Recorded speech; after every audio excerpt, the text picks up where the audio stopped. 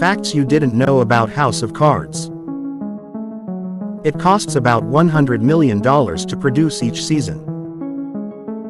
It's the first online series to win an Emmy. House of Cards is based on a 1990 BBC miniseries. Every cast member was their first choice.